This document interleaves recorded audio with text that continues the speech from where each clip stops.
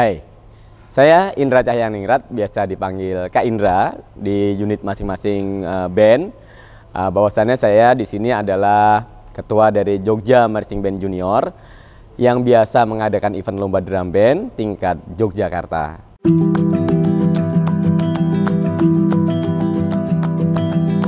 Kali ini saya mewakili teman-teman mengadakan lomba drum band RRI Marching Band Festa yang sudah berjalan enam kali. Tapi terpaksa waktu tahun 2020 kita break karena pandemi sekitar tiga tahun dan kita mulai lagi saat ini tahun 2023. Oke, kami Marching Band uh, Jogja Marching Band Junior ini uh, berdiri di tahun 2013 pertama kali kita bergabung dan kita mengadakan event untuk mewadahi anak-anak uh, sekolah terutama tingkat taman kanak-kanak dan sekolah dasar. Uh, khususnya di bidang drum band and marching band. Nah gitu. Kemudian kami memfasilitasi semua klasemen. Maksud saya klasemen itu dari sekolah yang mungkin masih dirasa uh, sedikit siswanya sampai yang siswanya banyak. Jadi kita kasih fasilitas, fasilitas semua sehingga mereka punya wadah dan tergabung di event lomba marching band kami. Nah Khusus untuk event ini di RRI Marching Band Fiesta ini kita tersenggol dua hari tanggal 18 dan 19 Maret 2023 dengan jumlah peserta 65 peserta. Hari pertama 34 peserta dan hari kedua 31 peserta. Nah, di sini kami mengadakan event drum band itu juga tidak ada yang eh, apa, tidak ada tujuan, tapi kami punya suatu maksud yang kita ada edukasi, kita ada misi untuk anak-anak tentunya. Pertama, melatih anak-anak yang taman kanak-kanak khususnya untuk mereka belajar mandiri, bekerja sama, disiplin, dan mereka bisa menunjukkan performa mereka untuk berani tampil dan jadi banggaan orang tua tentunya. Uh, berimbas ke sekolah, tentu saja begitu. Uh, kemudian untuk yang SD sudah mulai serius karena mereka sudah bisa mandiri. Yang SD biasanya mereka sudah sangat tertata sekali dan mereka punya divisi juga masing-masing. Nah, itu nanti mereka akan tergolongkan di beberapa macam divisi sesuai dengan kemampuan unit mereka masing-masing. Intinya, kami menyelenggarakan lomba drum band ini uh, untuk memberikan motivasi kepada semua pihak untuk mempercayakan anak untuk bisa mandiri dan bekerja sama dengan temannya terutama bisa nantinya mentalnya akan kuat dan mentalnya akan tertata seandainya mereka bergaul dengan siapa pun.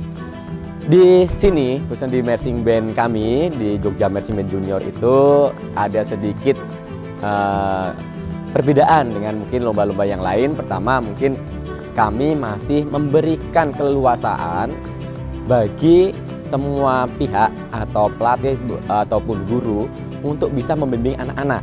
Jadi sisi-sisi kekanaan mereka tidak kita tutup. Mereka masih bisa ceria dan mereka masih bisa mempunyai sisi anak-anak dalam bermain musik. Dan memang khususnya di taman kanak-kanak itu adalah mereka dunia bermain. Tidak seperti kakak-kakaknya di SD, SMP dan seterusnya yang sudah serius dan bisa diterapkan semi-semi militer. Jadi di sini kami menginginkan anak-anak berdrum band itu dengan senang, tidak dengan tekanan.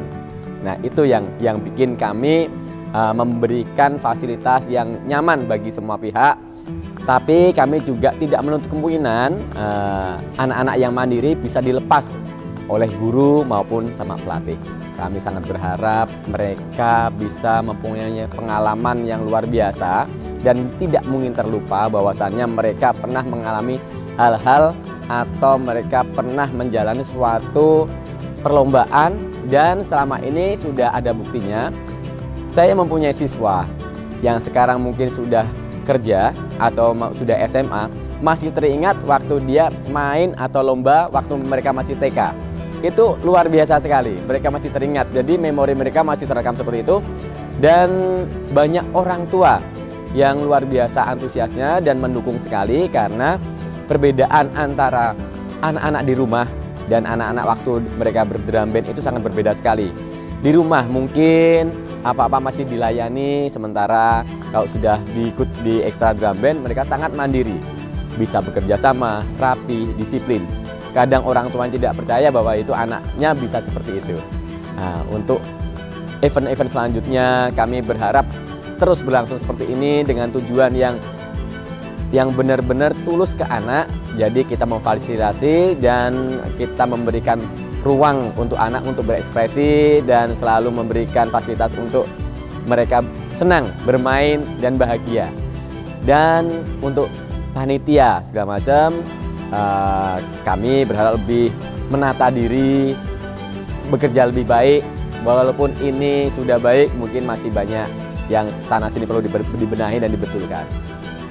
Oke, para pemirsa, uh, selamat menikmati perlombaan kami, permain kami, bagaimana anak-anak berekspresi, bagaimana anak berperforma.